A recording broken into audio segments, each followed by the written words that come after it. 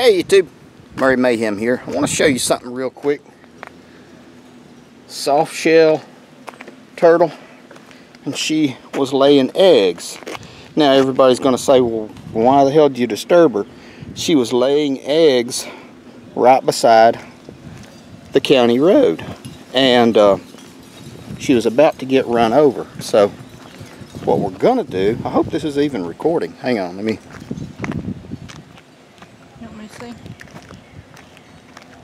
Yeah, we're recording. Here's a hooch.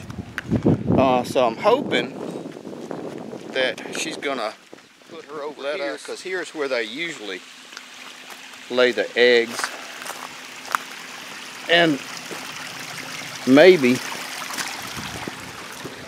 she won't uh, get up near the road to do it. There we go. So, there. Now, that's pretty cool. She's not the biggest one we've seen. We did a, we caught one the other day, or not caught. They come down the driveway and usually lay eggs right in here. So hopefully she will uh, stay here and lay her eggs like they normally do. And, uh, and then go on up across the road.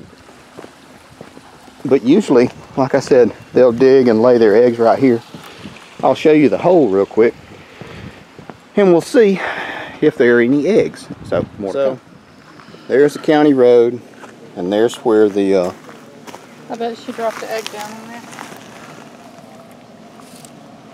Well, hopefully. No, no eggs yet. Okay, that's empty, and like I said, normally I would never disturb them while they're uh, laying eggs. But see, it's right by the road.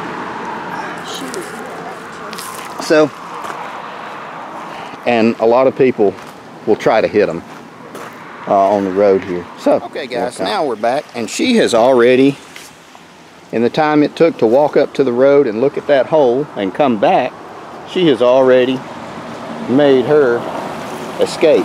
But all the grass was pushed down, so she had walked or crawled down through here and went down the pipe already. So, yeah, it's all muddy from where she slid down.